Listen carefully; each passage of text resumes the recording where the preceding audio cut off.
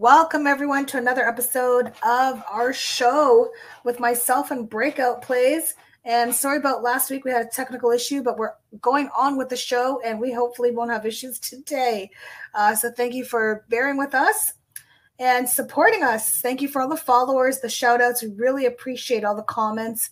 And our, our mission is to pick some plays that will have a move to the upside or downside. So let's just first talk about what to expect this week. This is courtesy of Seeking Alpha, a phenomenal new subscription as well. Tells you what's going on for the week. Uh, you can see here we have uh, stocks to watch here. Um, we have NVIDIA this week has an all-day event at the GTC event. It's a four-day event. They're going to cover the advancements in generative AI, the metaverse. Got Jensen Huang's going to give a keynote speech. And uh, we know that the shares have rallied in the past uh, over the last four out of five years. I wonder if this will rally once again. So, one to watch this week. We have NNDM also uh, has a meeting scheduled to replace four directors. Wow. And then we have uh, the Game Developers Conference as well, which is all day. Then on Tuesday, we got uh, some Lemon and Starbucks. And then we also have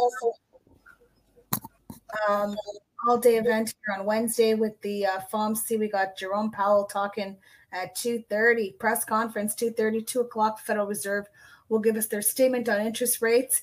And then we have obviously some more events later this week. Uh, really nothing special, just Altria and Chevron having a virtual fireside chat.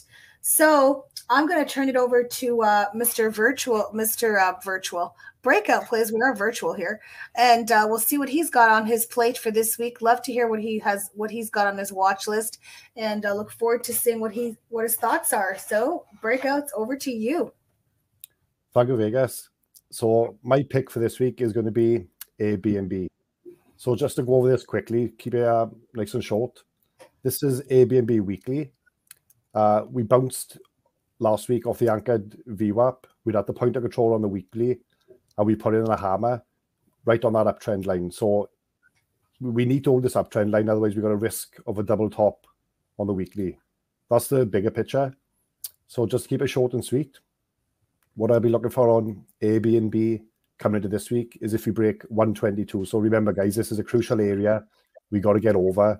This is also a reject area if we do reject that 122, we could start coming down and then form that uh, double top on the weekly that I just showed you. My play this week will be entering calls at 122, targets of 125.80 and then 130.80. But let me just show you this weekly quickly, guys. Also be aware, if we don't hold this uptrend line on the weekly, we will have a danger of doing what we did back here off this double top before we got some downside. So that's my pick for the week, Vegas. I'll be looking at Airbnb over 122 for calls with targets of 125.80 and 130.80. Okay, well, that sounds really good. I'll be watching Airbnb. I haven't traded that in a while, so looking forward to uh, trading it. And also, I noticed with uh, Airbnb, I wonder if they have all these people coming back to book their uh, stays because they've had you know loss of, with COVID. They were you know impacted. So hopefully uh, the stock makes a comeback. But yeah, that looks really interesting. And look at that volume coming through. So very interesting. Forward to seeing what happens here. And let's keep a watch on that Airbnb level. And where would you be your bearish on it if it went below what? Well, uh, on Friday's low, if we break Friday's low, but mm-hmm. I know I do think we are going to test our 122 regardless before we start rejecting. I mean, the only other option I see technically is if we break Friday's low for more downside going into this week. But funny you should say about the, um, you know, the, the company and the listings and everything. They added 900,000 new listings in 2022, which brought their listings to 6.6 million. They got strong revenue growth and profitability. So, you know, as a company, I like them long term anyway. Uh, they generated 3.4 billion in free cash flow in 2022, which is nearly 50% more than 2021. So I do think the stock is due a breakout. Hopefully, this chart will be able to break out to the upside. As long as you hold that weekly uptrend, I, I can see us breaking out at some point to the upside. But again, if it rejects our 122, you know, I, I won't be in it for calls. And if it breaks Friday low, you know, I might even take a, a put play on it going into this week. Okay, well that sounds great. I'll be definitely watching Airbnb. I'm gonna definitely keep a watch because that looks pretty good, and I like what you said about their free cash flow. Uh, definitely something you, people that like long investments, something to watch long term. People like investing. Uh, obviously, check it out. Do your own due diligence. Speak to a licensed advisor, obviously. But I love the free cash flow. You always want to be invested in companies that have good cash flow. So that sounds like a really juicy one, and uh, very impressed. Actually, didn't realize their free cash flow is that big. Yes, uh, they're doing well. And 2022 was the um, first profitable year they had of positive wow. net, positive net income. So, you know, the, the, company's going in the right direction either way for investment. But obviously, we look at the day trade these and uh, looking at these charts. I, I like it this week for hopefully the breakout we're looking for with this company. Absolutely. Okay. So thank you so much for that one. So Airbnb is breakout plays pick. And now we're going to turn it over to my pick this week going to be NVIDIA. And you know what? NVIDIA is really impressive. They have, obviously, it was a beautiful run this week on NVIDIA. Let me, I'll have to pull up this chart here and show you guys, but this was a gorgeous move this week. I know there's probably going to be some bears on NVIDIA now because they're thinking, well, you know, NVIDIA had, uh, let me just pull it up here, uh, quite the run. And so maybe they're thinking, you know, it's had, you know, we had a pullback, obviously, but they're probably thinking there's going to be a short on Nvidia. So won't be surprised that there could be bears on this. But you know what? I'm going to be the um, what do they say, devil's advocate or the contrarian, and actually anticipate that uh, there will be some excitement on the artificial intelligence sector. Uh, that obviously the CEO and co-founder of Nvidia is going to share some exciting news, and hopefully we'll see some action in nvidia. And you know what? Microsoft's involved in ai as well so that's also one to watch. But i wonder if he's going to say anything or talk about new products um, that nvidia is on that's going to actually push the stock. So you just never know.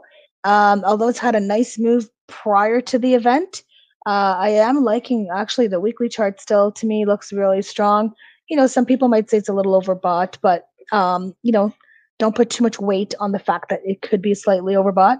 Uh, the event alone is a game changer. I mean, who knows what he's going to say? And let's see what he has to say. Can I play the volume here? Oh, he says, don't miss the exciting moment. You guys could see this screen here. Oh, okay, hold on. Let me show you. Share the tab. Beginning drive show pilot. this one here. Oh. Let me see. There you go. You could see here they're showing like a little video here Ask of all the stuff that they have going on content? with their AI. Look at this special effects, just amazing. I love it. So keep a watch on Nvidia. It's the event is tomorrow, eight o'clock PDT. Not pattern day trade rule, but uh, PDT. I want to show you something you like amazing. That one. Um, so yeah, so that's the event tomorrow. So let's definitely keep a watch on Nvidia. It is a stock to watch, and uh, I think if it can get over, you know, 260, watch out. I mean, it's it doesn't matter where it closed right here, but if it gets over 260, watch out. That's going to be the resistance I'm watching for. Some traders might be watching the resistance over 261.04, uh, but definitely going to be watching Nvidia if it breaks 260. You know what? If it went below like 250, then I would re, you know consider maybe a, a potential short for me. But you know, it's such a powerful stock, such a powerful weekly chart that um, you know really looking to see what this will do uh, tomorrow. So keep NVIDIA on watch. That's going to be my play of the week. And uh, look forward to seeing what we have going on for the market. So, a lot of talk still out there, by the way, on the banking stuff. You're still hearing all this banking stuff talk, bank talk. So, there could be obviously some volatility. And we have obviously Fed Chair Speaker Powell talking. So, it makes a good mix for an exciting week. Uh, very important to be cautious with position sizing as well. We talk about that. You know, get aggressive when the market signals it's time to go. Right now, still a lot of uncertainty in the market with this banking stuff. So, you know, people are sometimes a little bit hesitant to take trades. Um, so just caution on size. You know, just trade what you see in front of you. The bottom line is price action determines what you should do. You know, if price is going up, then you obviously go into uh, calls, or um, if price is tanking, you obviously would consider probably looking at puts. So just look at what's in front of you because you know every day is a new day. And there's been some great trading opportunities last week, some phenomenal, phenomenal trades last week. AMD was a, a smash. Nvidia was a smash. Meta was incredible. So these are stocks to not take your eyes off because these are stocks that had had good moves. So definitely will be watching this week once again. Nvidia is going to be my pick, and uh, breakout plays. His pick is going to be, as you know, Airbnb and he obviously showed oh here's nvidia chart. By the way uh, breakout what's your thoughts on nvidia? Because i know last week we were on opposite sides of the fence. You were bearish i was bullish. And so what are your thoughts this week on nvidia? Because it's already had a nice move. Yeah it was uh, crazy you know um yeah as you said last week i was looking at this 2 to 250 to break to play down to 211 uh, you you said the opposite you wanted to play it to the upside. Uh, we had a little discussion about it. Uh, you was right i was wrong. The the important thing to remember, you guys, which is another crucial thing to remember, is these key areas on the chart is where the stock can do something. Either buyers are going to uh, be more dominant or the sellers are going to be more dominant. So in Nvidia's case, where I liked it for a breakdown, the buyer stepped in and pushed it right back up. And, you know, v Vegas called this beautifully last week and they went on a, a, massive run. So what am I looking for this week on Nvidia? Yeah, I, I mean, I got I got near side targets this week if it keeps running of 270 and 275. If it breaks 255, I'd be looking for a 11 point drop down. Um, but again, long term, as we said, they're expecting potential growth in the AI market. Uh, AMD and NVIDIA are top two GPU market for AI servers, with NVIDIA controls about 80% for those servers. So, you know, they've got a big, big share of the market. Um, the, the only short term problems I see with them is there's a weakened demand for chips in the gaming and data center markets. But you know, if we do get downside, I can't see that being the catalyst. So we would have had it already, and that was one of the reasons why I liked it to the downside last week. But in short, I like it if it owes 255 and um near side targets 270, 275. If we do get downside, you know, I, I can't see it dropping much below 244. But again, that's not me predicting. That's just what price actions telling us at the moment. And uh, it'd be good to see this week if the buyers are still dominant. Yeah, I mean, absolutely. I mean, we don't have a crystal ball. I mean, some people think we do because we've been really accurate with a lot of our plays. So thank you to those of us uh, saying that we have a crystal ball, but we actually don't.